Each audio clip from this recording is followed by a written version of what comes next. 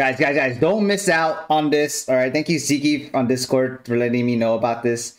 But you can get a free Echo Starter Pack from the Epic Game Launcher. So all you need to do is get on here, right? And then you click on Wuthering Waves. It should be like on top on the main page or whatnot. If not, you can search it.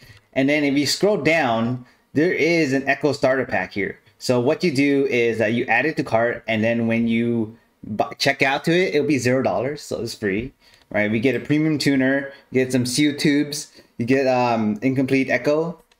I think this for uncapping, and then uh, you check out. It'll send you email regarding a code, and you go redeem it. Like you can go check out my other video on how to redeem. But yeah, hopefully you guys get that, uh, and I'll see you guys later. Feel free to check out my stream, twitch.tv slash Vinsonte. It's my quick, quick video. Later days.